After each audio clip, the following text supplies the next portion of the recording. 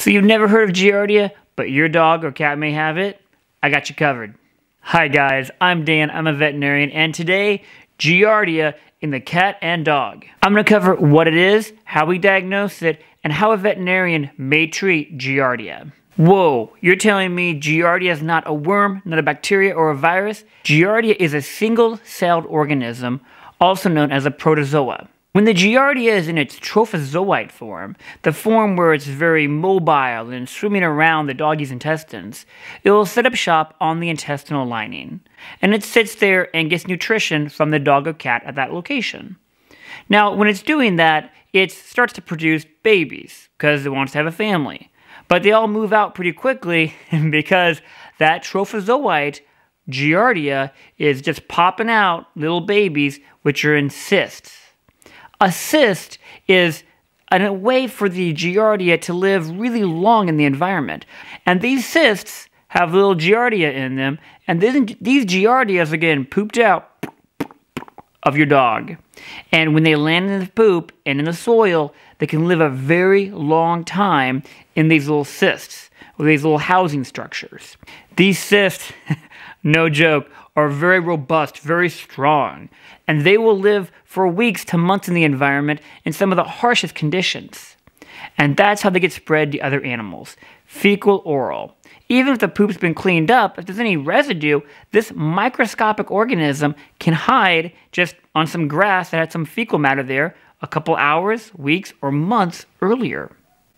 So when a new doggy or a new kitty ingests the cyst with the giardia in it, the giardia falls into the intestinal tract and it just breaks open and boom, you got your trophozoite cyst again with the little flagellae and they're just zigzagging and swimming all over the intestine. Now you have your dog, it's been doing great its entire life, like it's the epitome, it's the essence of good health. And all of a sudden your doggy starts having diarrhea.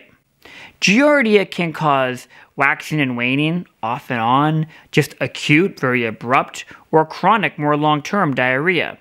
And that diarrhea can just be diarrhea. It can be so bad where the dog may lose weight and fail to thrive. And if it's really bad, the dog may even throw up sometimes. But a lot of times, it's just really stinky diarrhea. So that's when you're like, man, I cannot keep carpet cleaning all this poop out of my carpet. Or you're like, thank goodness I have hardwood floors because Spot over there is destroying them. right? We've all been there. Your dog is just pooping everywhere. So you don't know if it's Giardia yet, but you're thinking maybe it is. So what you do is you go into the veterinary office, and your veterinarian's super smart, and they're going to do a handful of tests. A veterinarian may do a poop exam now, and poop exams are really common, also called fecal exams, where we get a little bit of that poop. Give me that poop. Let me, let me get that. And guys, if you're able to, bring a poop sample in. Make sure it's fresh, but my goodness, that makes everyone's lives way easier if you bring a poop sample in. Because a veterinarian needs a poop sample, and most likely they're going to use a little wand to get it. So just bring a poop sample in. And they're going to get a poop sample and they're going to put in some sugar water because the cysts, because the cysts are going to float, right?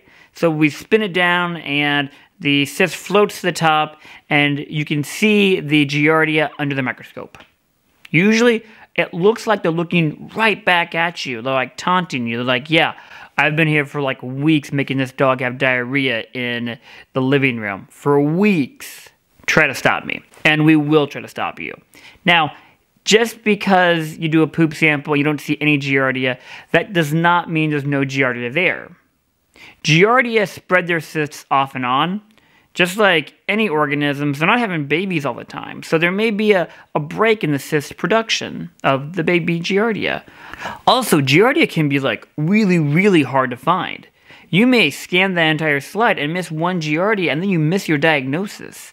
So just because a veterinarian says, Your fecal's negative, I didn't see any parasites. Does not mean there's no Giardia. It means there's a good chance there's no Giardia, but it doesn't completely rule it out. The other thing we can do is do a, an antigen test. It's, it's a snap test that says yes or no. And when you uh, take a sample of the stool and you put it to the snap test, takes like 15 minutes, and it's going to say yes or no. This is a great way to help prevent missing a Giardia diagnosis.